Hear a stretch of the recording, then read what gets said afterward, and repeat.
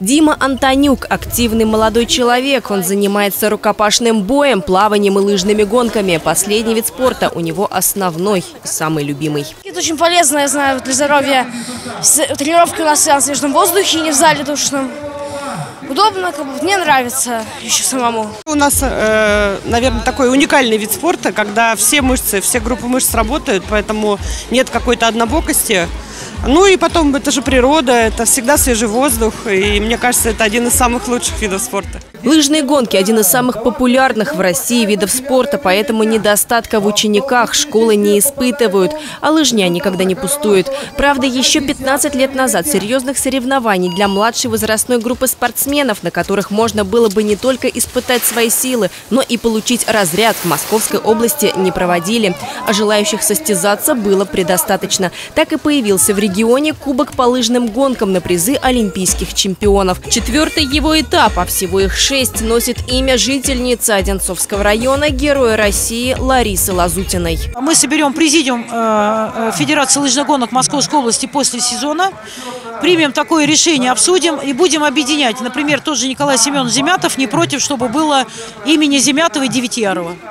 Там та же, например, э, Лариса Евгеньевна э, Лазутина не против, чтобы было имя Лазутина и Виальби, чтобы все имена олимпийских чемпионов звучали. На соревнования в Одинцово приехали несколько сот юношей и девушек со всего Подмосковья. Всем без исключения предстояло преодолеть дистанцию 3 километра классическим стилем. Так получилось, что в этом году младший подготовительный возраст фактически все туры бегут классикой, что, в общем-то, здорово, поскольку это основа вообще лыжных ходов и перехода даже на тот же свободный ход. Нужно нужно поймать фазу скольжения.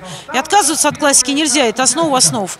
Трасса по силам будет всем. К соревнованиям участники готовились основательно, оттачивали технику, отрабатывали ускорение. Тренировки в спортшколах проходят практически ежедневно. Единственное, что невозможно предусмотреть – это погода. В день гонки температура воздуха поднялась чуть выше нуля.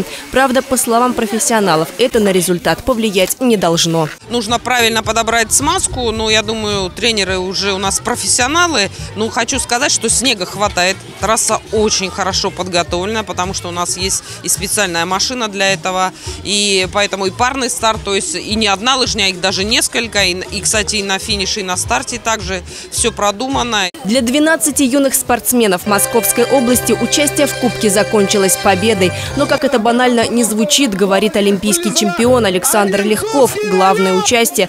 Причем не только для самих участников соревнований, но и для развития спорта в целом. Сейчас они все чемпионы в своем виде э, возрастном, и э, сейчас нельзя сравнивать кто-то лучше, кто-то хуже. Они все лучше, и у них у всех получается, как и классика, так и коньком, поэтому нужно дальше сделать так, чтобы у них было желание и просто идти лет до 15, до 16 просто получать от этого удовольствие. А уже дальше можно разговаривать, разговаривать про профессиональный спорт и уже за результаты. Очередной этап Кубка Московской области завершен. У юных спортсменов есть время сделать работу над ошибками, чтобы на следующих соревнованиях улучшить свой результат. Евгения Августина, Денис Харламов, телекомпания «Одинцова».